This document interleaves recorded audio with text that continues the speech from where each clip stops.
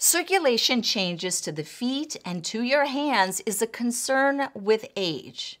This is referred to as microcirculation. And in our hands and our feet, we have these itty bitty blood vessels that supply the skin, nerves, fascia, and muscles.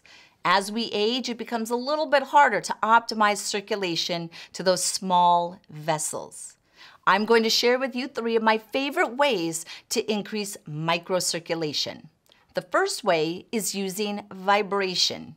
Using a whole body vibration platform for just 10 minutes a day has been demonstrated to increase microcirculation to the skin and muscles of the feet. A second great way to increase circulation to your feet is using texture. This is a textured sock by Naboso, and the texture on the inside of the sock has been demonstrated to increase microcirculation to the small muscles of the feet. A third and final way to increase microcirculation to your feet is movement. Just 50 steps can increase circulation to your feet.